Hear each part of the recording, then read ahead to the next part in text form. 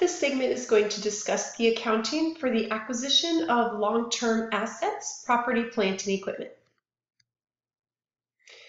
Plant assets are assets that the company purchases that are tangible in nature. In other words, you can see them, feel them, touch them.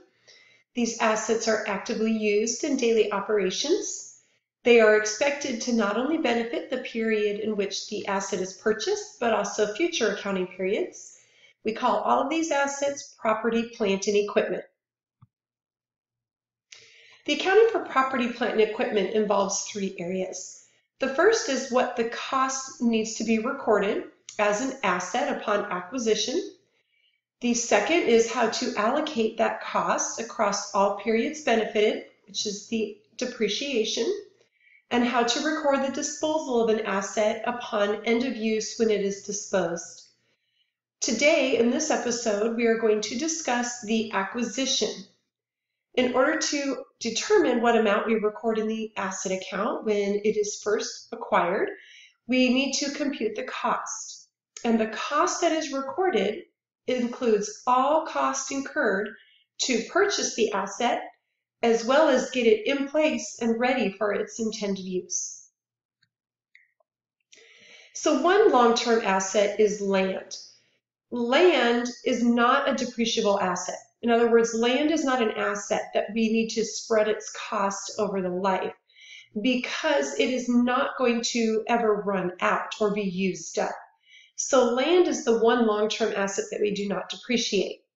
And because land is not depreciable, we have to keep track of it and account for it as a separate asset from any land improvements that are, even though there may be intended to be permanently on the land, they um, do have a limited life.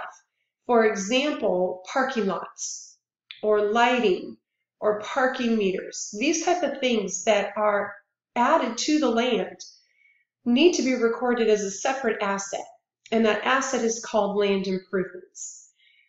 The amount that we record for land improvements is the cost to purchase the item for example, lighting, the cost we incur to purchase the lighting, plus any costs we incur to get the lighting in place and ready for use. So any installation costs or adjustments or anything of that nature. All of those costs are added together and that total cost is recorded as an asset. For buildings, when a company acquires a building, they can either purchase the building or they can construct it.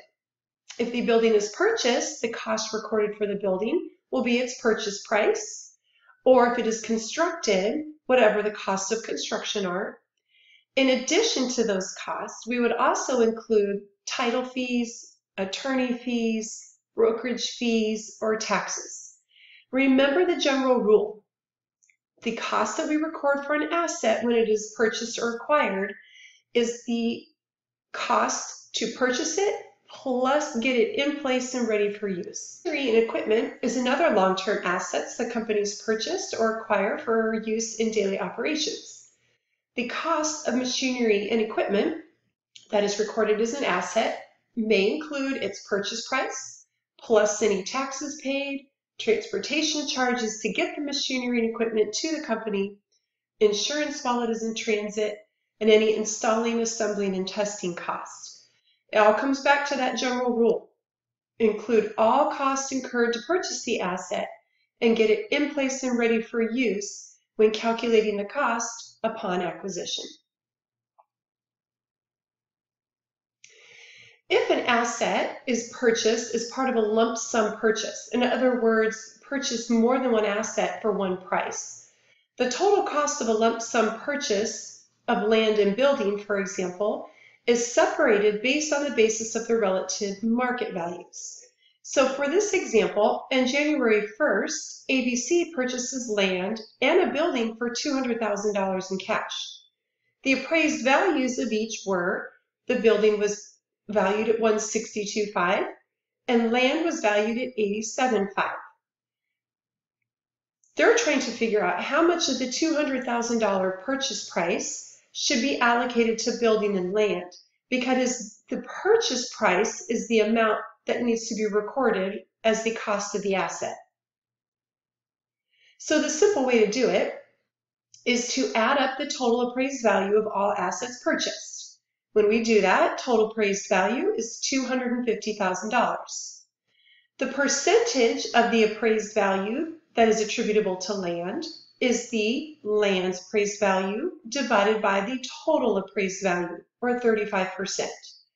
Buildings is 162.5 of the total 250, or 65%. If 35% of the total market value of the purchase is attributable to land, we will allocate 35% of the purchase price. Purchase price was 200,000. $70,000 of it will be recorded as a land asset.